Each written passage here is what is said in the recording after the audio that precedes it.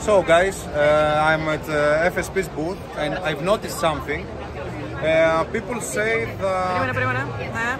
I knew, I knew that the highest you could go is 1600 watt ATX3 and PCX Plus 5.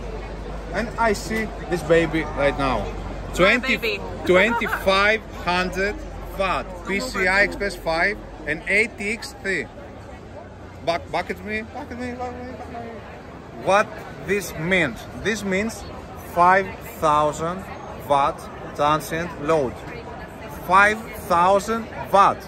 I don't have the loads for this. I have I have six Chroma stations, six full Chroma stations, uh, four kilowatt each, 24 kilowatt, actually 25.2 kilowatt combined capacity.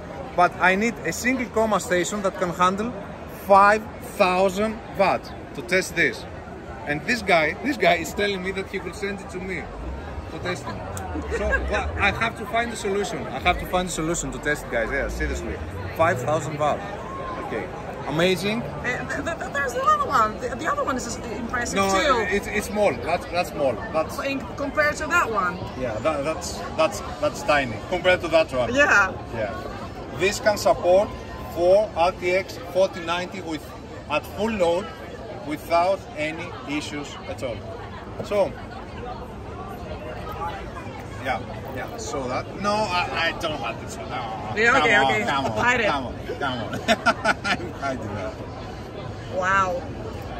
Yeah. And dimensions are normal Mm-hmm. given the capacity. Actually, I, I can say that it's compact.